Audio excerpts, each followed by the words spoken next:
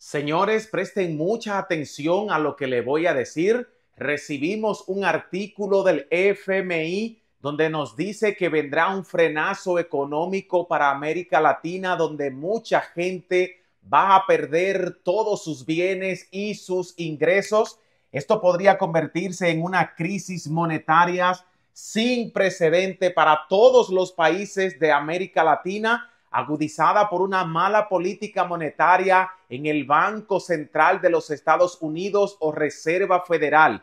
Miren el artículo que presentó el FMI el día de ayer, donde le advierten a la ciudadanía dejar de gastar el dinero y más bien invertirlo en oro y tierra, no en dólares y ahorita le voy a explicar por qué razón. Miren lo que dice este artículo del FMI. Lo peor está por venir y para muchas personas el 2023 se sentirá como una recesión, advirtió este martes el economista y jefe del Fondo Monetario Internacional. El organismo anunció sus proyecciones económicas globales sin mucho espacio para el optimismo. Para este año se estima que el crecimiento económico mundial sea de tan solo 3,2% y para el año que viene solamente 2,7%, muy por debajo de la inflación que tenemos en este momento. Aunque algunos países lo están pasando peor que otros, al menos un tercio de las economías del mundo corre el riesgo de caer en una recesión el año que viene, señaló el FMI. Lo que están pensando ellos es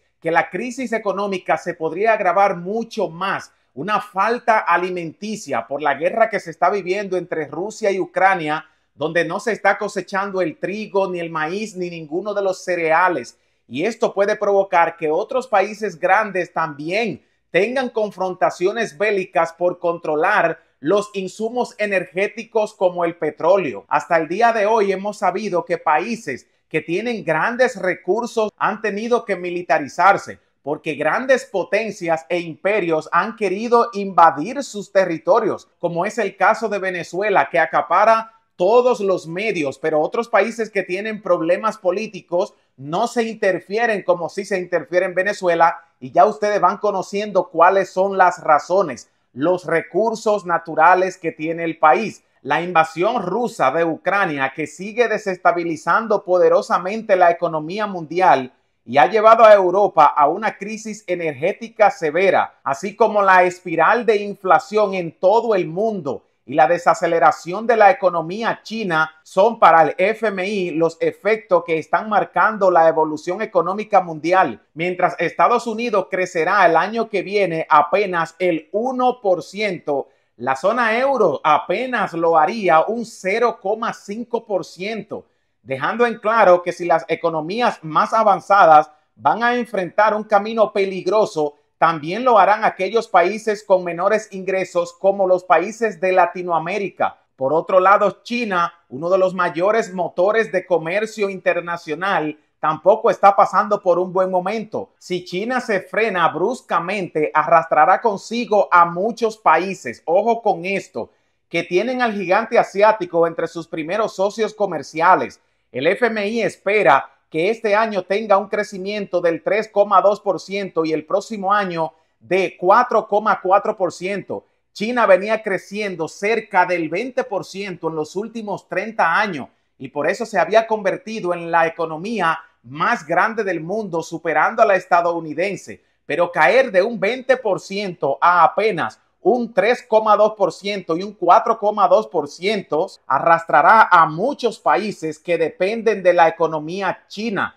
Y es que la desaceleración de China se ha convertido en uno de los factores que más afecta el rumbo económico mundial, especialmente los graves problemas que está produciendo en las cadenas de suministro. China que controla fuertemente el comercio mundial y la actividad globales. La mayoría de las cosas que nosotros compramos es muy probable que de alguna forma sean made en China. Incluso este computador, esta cámara que estoy usando, hasta este marcador tienen tecnología china. Si China cae, se caen todos los países que dependen del gigante asiático. Pero ¿qué está pasando en América Latina? En América Latina también se aproxima un duro frenazo económico según el informe de perspectiva de la economía mundial del FMI, reafirmando la tendencia descendente que marcaría el camino de la gran parte de las economías. Escuchen los números.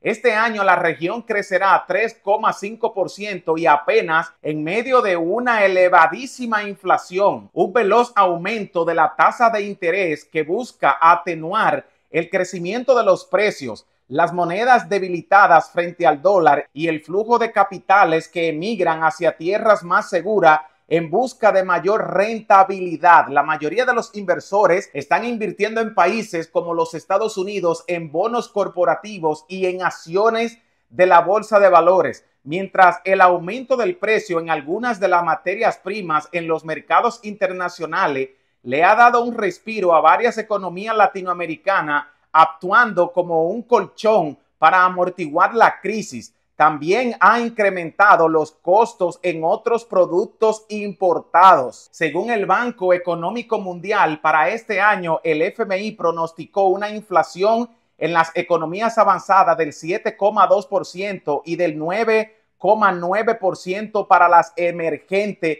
en comparación con un crecimiento del 2,3%, lo cual podría hacer que muchas empresas tengan que declararse en quiebra. La advertencia del organismo se produce cuando los banqueros centrales y jefes de las finanzas públicas se reúnen en Washington en un foro anual del FMI y del Banco Central Mundial. Uno de los temas centrales será la política monetaria que está aplicando la Reserva Federal de los Estados Unidos, Fed, equivalente al Banco Central de otros países.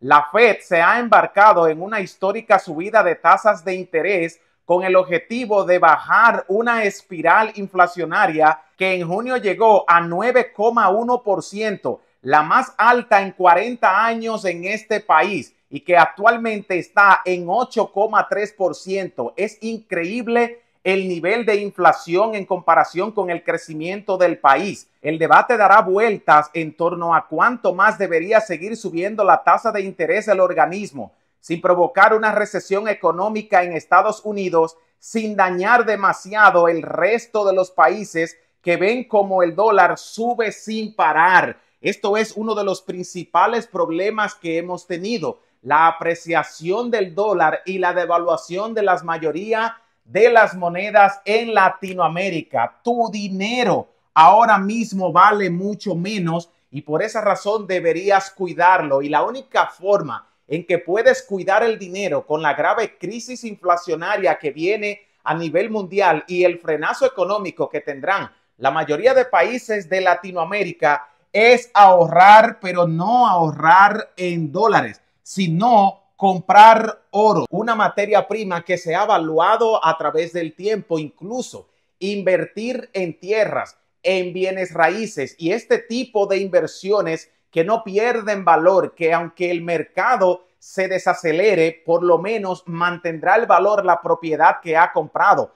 Y por eso nos dicen que no vayas a ahorrar en dólares, sino que los convierta tanto en oro como en inmuebles y otras cosas que deberían hacer la mayoría de migrantes, personas que trabajan en los Estados Unidos y sus ganancias son en dólar, es tener algunos ahorros porque muy probablemente vengan cambios drásticos en la política migratoria de los Estados Unidos y de tener una aprobación de una ley migratoria que podría ser firmada por el presidente Joe Biden para tratar de minimizar la inflación, recaudar dinero de los migrantes. Una ley migratoria podría poner miles de millones de dólares en las arcas de recaudación de impuestos en los Estados Unidos. Por esa razón, tú deberías cuidar tu empleo cuidar tu dinero y si te excede de 10 mil, 15 mil dólares, que es lo que necesitarías para resolver los problemas migratorios en los Estados Unidos, el resto de ese dinero no lo malgastes, sino más bien inviértelo. Es un llamado de los expertos en finanzas y economía. Pero aquí viene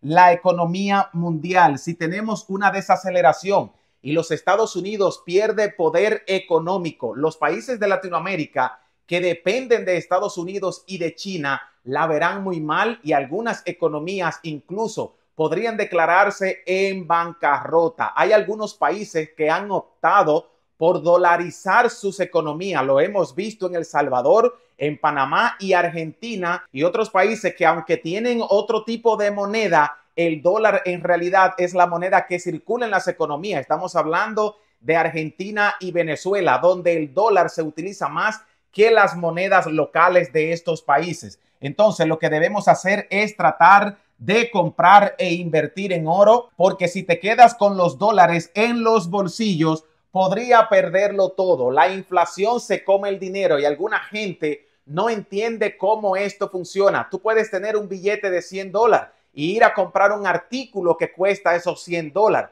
Pero si lo guardas y en 10 meses ese artículo cuesta 200 dólares, pues quiere decir que aunque tu billete dice 100, ahora solamente vale 50, porque no es que el producto se haya encarecido, es que tu dinero dejó de valer lo mismo que valía anteriormente. A esto se le llama inflación y cuando esto ocurre, las economías globales tienen una desaceleración y un frenazo monetario. Ahora bien, déjame en los comentarios, ¿crees tú que la crisis monetaria que hemos vivido en el 2023 es aún más pequeña que la que podríamos vivir en el 2024?